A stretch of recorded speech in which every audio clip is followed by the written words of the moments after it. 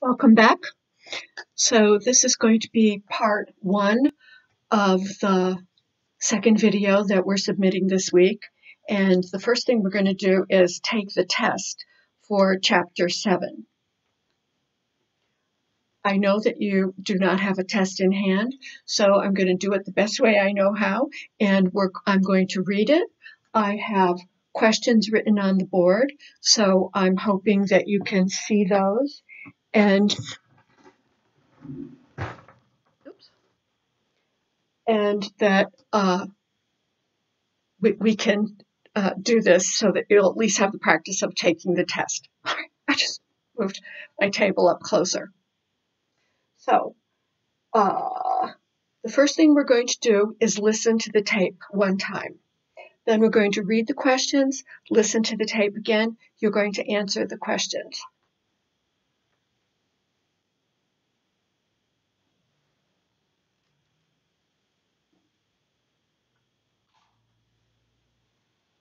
Unit 7 test. Section A. Listening.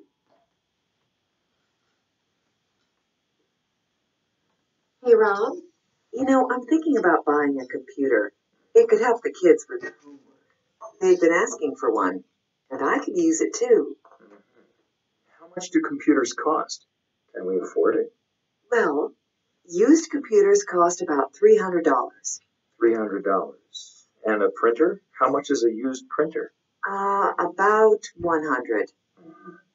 What about a new computer? I think a new computer and a new printer cost about $800. You know, we can afford to pay cash for a used computer and printer, but I'm worried about spending $800 for new ones. We'd have to buy them on credit. I know, but I prefer a new computer and printer. I know we have enough money in our savings account, so if we use a credit card and pay it off immediately, there'll be no problem. Right. So zero financing, zero interest, zero debt. I like that. And I'm really excited about getting online with my family. I wonder how much that costs. I think it's about $30 a month. Hey, let's worry about that later. One thing at a time. Great. Let's go tell the kids.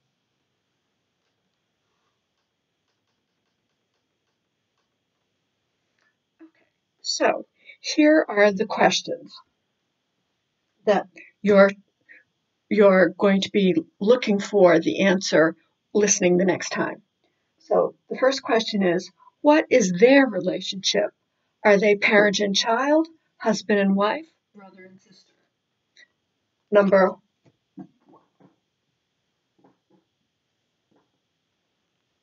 So you're going to have one, two, and three listed in your notebook. Number two, why do they want computer?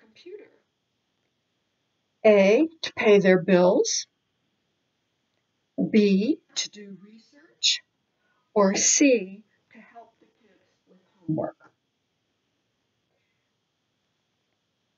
Question number three, which way will they pay? A, with a credit card. B, with cash. Or C, with a check. So these are the questions going to be listening for.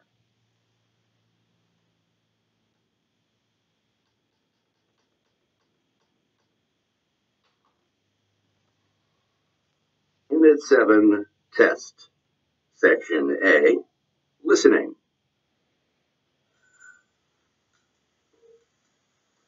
Hey, Rob. You know, I'm thinking about buying a computer. It could help the kids with their homework. They've been asking for one, and I could use it too. How much do computers cost? Can we afford it? Well, used computers cost about $300. $300.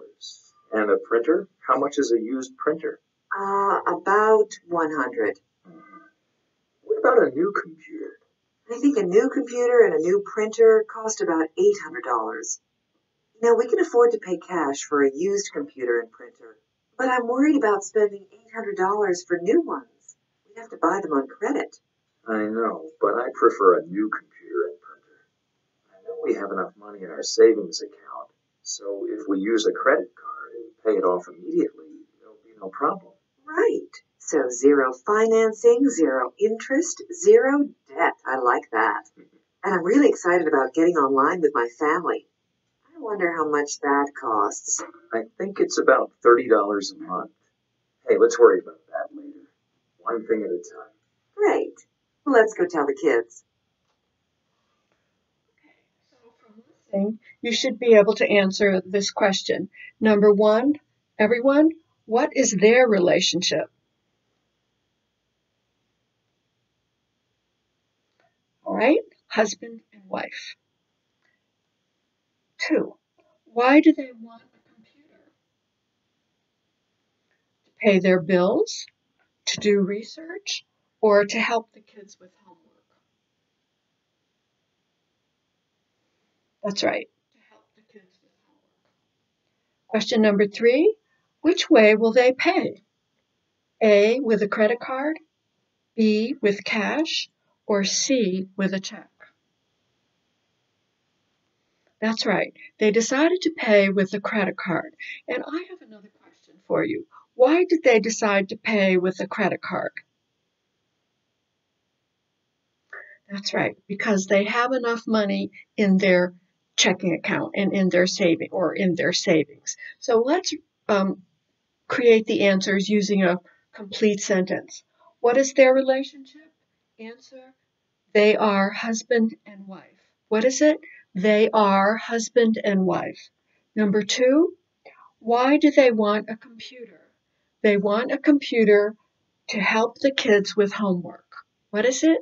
They want a computer to help the kids with homework. Number three, which way will they pay? They will pay with a credit card. What is it? They will pay with a credit card. Okay, so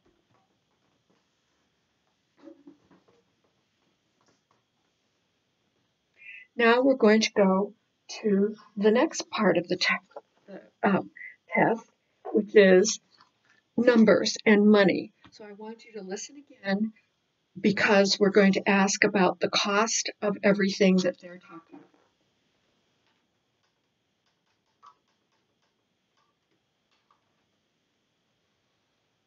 Unit 7, Test.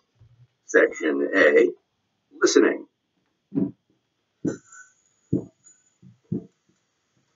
Hey, Rob. You know, I'm thinking about buying a computer. It could help the kids with their homework. They've been asking for one, and I could use it too. Mhm. How much do computers cost? Can we afford it? Well, used computers cost about $300. $300. And a printer? How much is a used printer? Uh, about 100. What about a new computer? I think a new computer and a new printer cost about $800. You know, Whoops. I can afford to pay cash for a used computer and printer, but I'm worried about spending $800 for new ones. We'd have to buy them on credit. I know, but I prefer a new computer and printer. I know we have enough money in our savings account, so if we use a credit card and pay it off immediately, there'll be no problem. Right. So zero financing, zero interest, zero debt. I like that. And I'm really excited about getting online with my family. I wonder how much that costs. I think it's about $30 a month. Hey, let's worry about that later. One thing at a time. Great. Let's go tell the kids.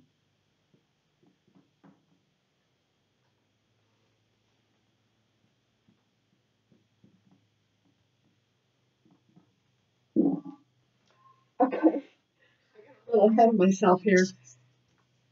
Putting down the answers. So here we have. Uh, listen again and complete the chart. Number one, what is the cost of a used computer?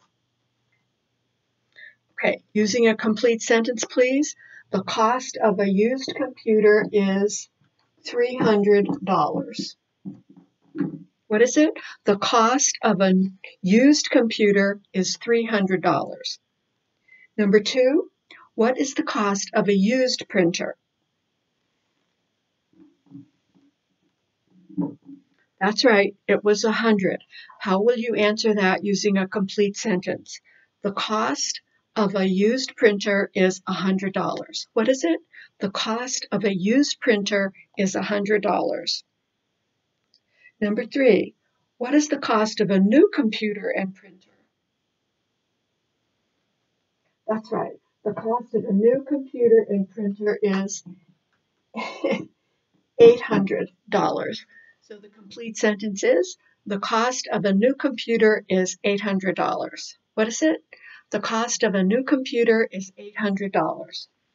Number four, how much would they have to finance? That's right, zero. They would not have to finance anything. Answer, they would not have to finance anything. Number five, how much debt would they have? That's right, zero. They would have zero debt. What is the answer? They would have zero debt. Number six, what is the cost of online service?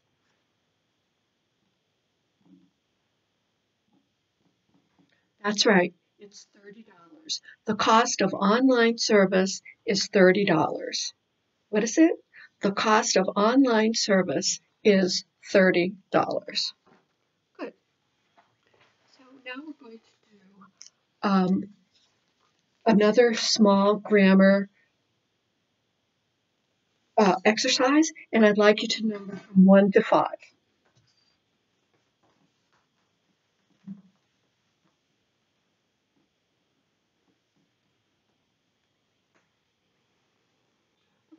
Now that you've done that, these are the words that we're going to be using. Lend, get, start, pay, and buy. By the way, who does the lending? The one who gives or the one who's receiving the money? That's right. The one who gives the money is called the lender. And what do we call the person who receives the money?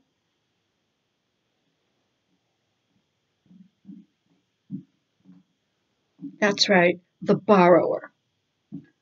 Okay. So you're going to add a suffix to each of these to create a gerund. The first one, I'm worried about him the money. I'm worried about, please repeat, I'm worried about lending him the money. That's right, a gerund uses, has ing. Number two, Dolores is afraid of, what is it? Dolores is afraid of, the gerund is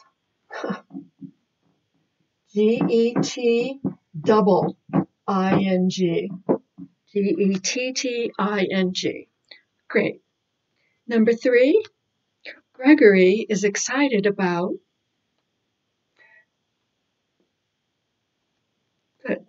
Gregory is excited about starting his new job. What is it? Gregory is excited about starting his new job. Number four, we're not happy about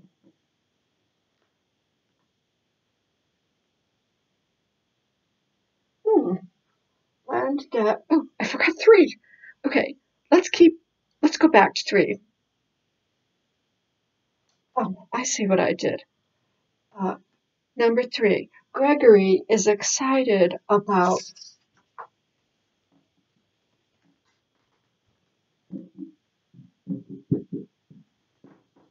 starting. Gregory is excited about starting his new job. ing. Next, we're not happy about, that's right, paying. We're not happy about paying interest on our credit card balance. Number five, I'm interested in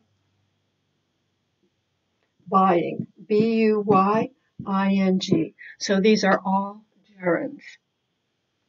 Worried, two verbs. Worried, lending.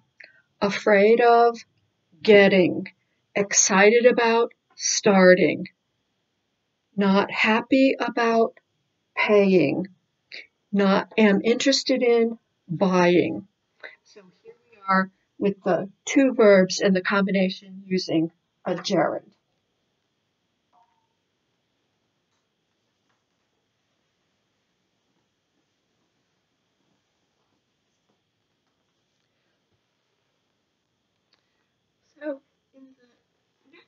Section, um, what I would like us to do is to go over some new vocabulary that I'm going to use in a story. And since this is the end of chapter 7 and we're getting into 8 again, I'm going to be reading a story. And I thought we would have new vocabulary from the story.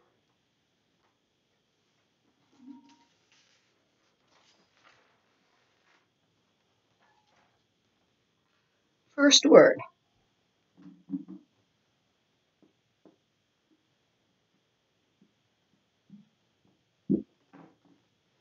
Tumble down.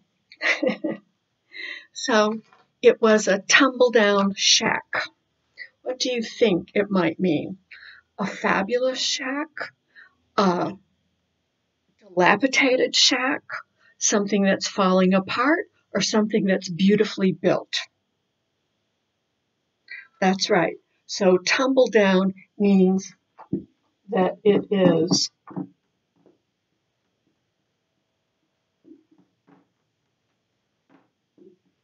falling apart. Next,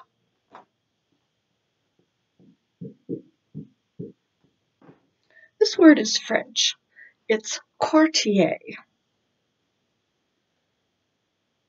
Anybody have an idea? Well, when you think of courtier, what other word do you think of? That's right, court. And you can either think about court of law or you could think about a king's court.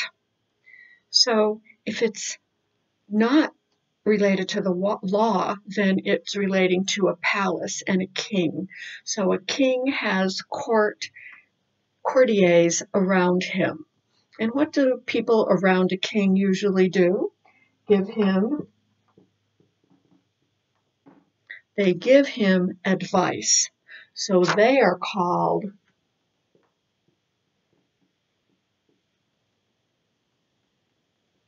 advisors.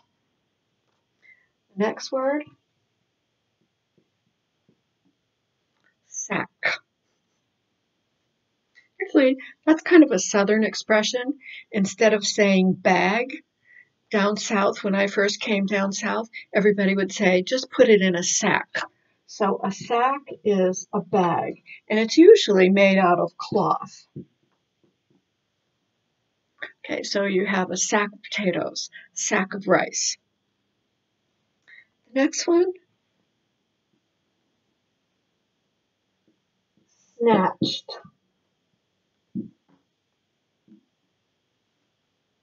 What is it? Snatch. Snatched. It's a verb. Anybody know what it means? It means to grab quickly.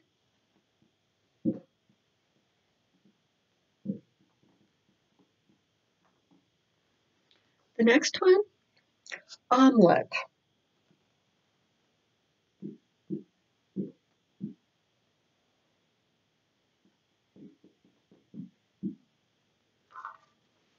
Anybody know what an omelet is? I bet you do. What's the first word that comes to your mind? That's right. Eggs. So an omelet is eggs added to a pan, but you do not stir them because if you stir them, then you're making scrambled eggs. But if you don't stir them, then it stays firm and it's called an omelet. Let's review. Tumble down, falling apart. Courtier, advisors to the king. Sack, cloth bag. Snatched, grab quickly. Omelette, beaten eggs, cooked on the stove, don't stir them. Right? Okay, one more time. Tumble down, falling apart. Courtier, advisors to the king. Sack, a bag of, made out of cloth. Snatched, quickly grab. Omelette, eggs. Okay, that's it. See you next time.